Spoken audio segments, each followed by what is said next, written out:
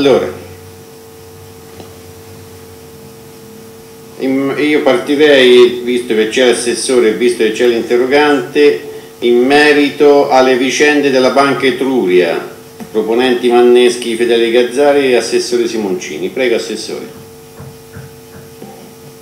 Grazie Presidente, eh, l'interrogazione del consigliere eh, Manneschi e, e Gazzarri e Fedeli diciamo, oh, riguarda una vicenda di una realtà eh, economica importante della nostra regione che sta vivendo una situazione di eh, sofferenza. Noi eh, abbiamo in questi giorni, anche a seguito dell'interrogazione del, eh, dei consiglieri, acquisito una serie di informazioni dai quali ci risulta che la situazione della Banca Etruria sia di sofferenza e per questa ragione la Banca d'Italia ha raccomandato formalmente l'aggregazione con un partner di elevato standard. Risulta che nel 2014, e l'abbiamo visto anche dalla stampa, abbiamo seguito diciamo,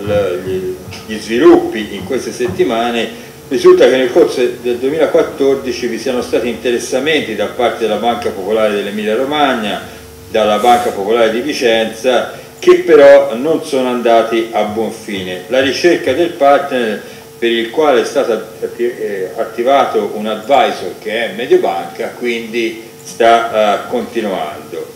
Un altro uh, caposaldo della strategia di uscita che la uh, Banca dell'Etruria si sarebbe data è quella della trasformazione da banca eh, cooperativa in società, eh, in società per azione.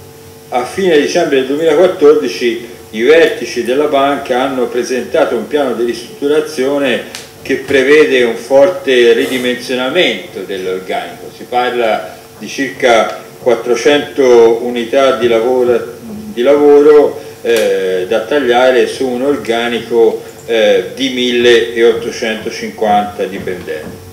Ovviamente eh, in questa sede, in Consiglio regionale, io non posso non manifestare una preoccupazione forte che credo sia condivisa eh, e è l'oggetto dell'interrogazione che ha mosso l'interrogazione, una forte preoccupazione rispetto a tagli così eh, pesanti. Il confronto tra le parti che vede eh, la presenza anche delle organizzazioni sindacali nazionali è appena iniziato e in questi giorni sono previsti una serie di incontri. Io eh, credo che sia opportuno, anche a seguito